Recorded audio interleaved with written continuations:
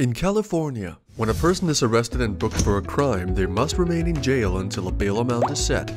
The entire amount can be paid in cash or by availing the services of Avolevan bail bonds.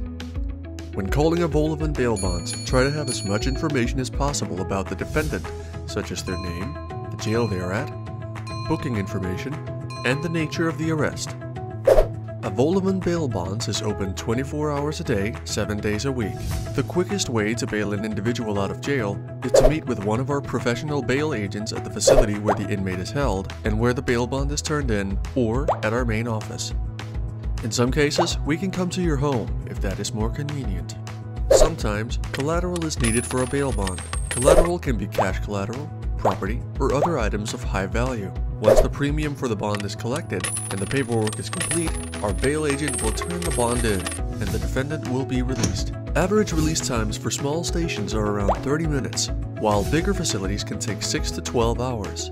After the release of the individual, they must show up to each and every court date, as well as follow all bail conditions while out on bail.